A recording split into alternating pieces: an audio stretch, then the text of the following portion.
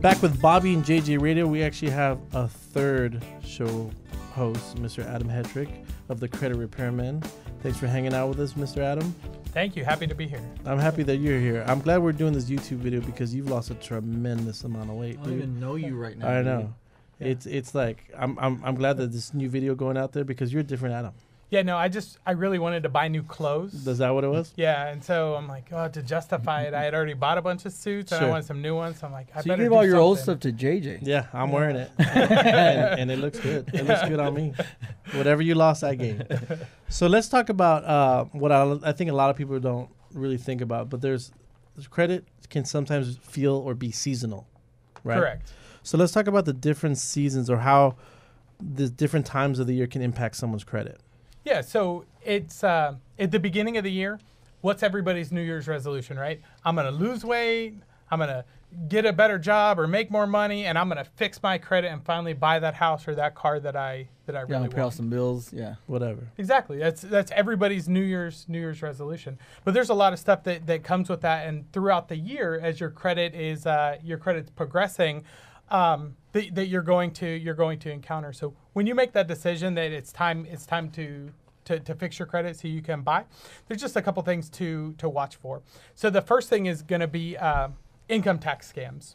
You see all the time all you'll see the irs never called you right? They always they always mail mail letters out uh, and that's something to really watch for in the first quarter. And the other thing is is collection agency agency scams and they're they're a threat to people's to people's credit So what I actually happened? get those calls. yeah. I've got, and I talk to them because Oh, I know it's a scam. yeah, Bobby's actually like, Um, kept them on the phone yeah. and, and harassed them back. Actually, my parents recently they got the call and they were a little worried. And I went over there and then I realized it was one of those scams. So I told them to Was leave us alone. the irs people It was the IRS. Yeah, very aggressive. Uh, they, yeah. yeah.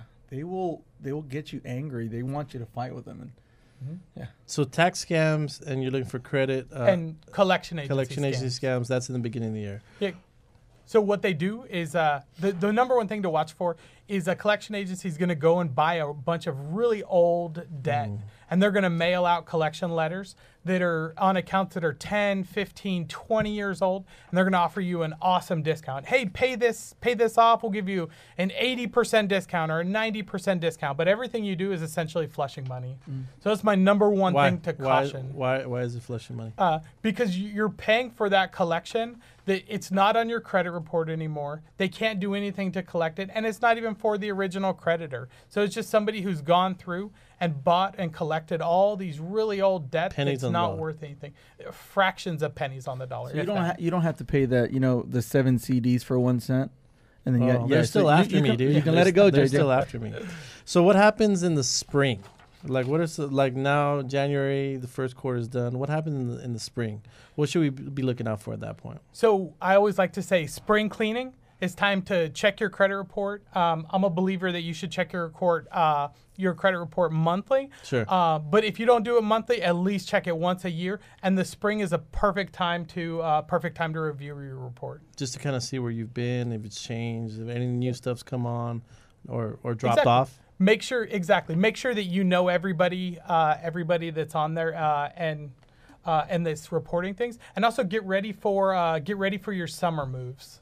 Summer moves, yeah. So let's talk about that. So in in the spring, because most people le- move between what May and August, mm-hmm. spring is probably the best time to really start to get that um, to to get your credit in order. Because mm-hmm. even a fraction of, of ten or fifteen points can either make or break someone's loan, or mm-hmm. or better yet, it can actually you know get them better APRs or or even uh, mortgage insurance premiums and stuff like that. You're, you're definitely right. Like the, the list of, of benefits of having of having good credit, especially when you're trying to move, it, it just goes it just goes on and on. Now, when you do that summer move, make sure that you're going through and you fill out a change of address with the post office and go through all of your creditors individually and tell them tell them that you moved. The last thing you want is them deciding that they're going to send you a new card with a chip to your old address and somebody's able to get that uh, and to, to get your information. And quick takeaways. So what about the last quarters of the month? What are we looking for at that point? So in in the last quarter of the of the year. Sorry. um, the last quarter of the year is to buy the things that you need to buy. If you know that you're going to have to buy a TV coming up um, throughout the year, we tell people to hold off on those purchases and look for those Black Friday deals, and then put together a plan on how you're going to do your Christmas, uh, how you're going to do your Christmas shopping to not overspend and to stick to your budget using credit. Okay, so if I get maced by an older lady in the line on Black It's on Friday, it's your fault. It's on you. it's on Adam. I might laugh so hard. That'd be totally worth it.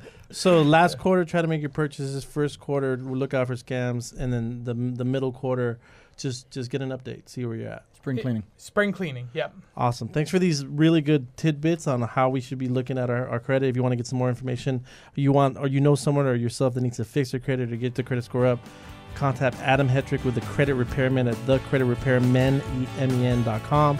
Uh, call them at 520-0444. That's 210-520-0444. And they're located at 6989 Alamo Downs Parkway.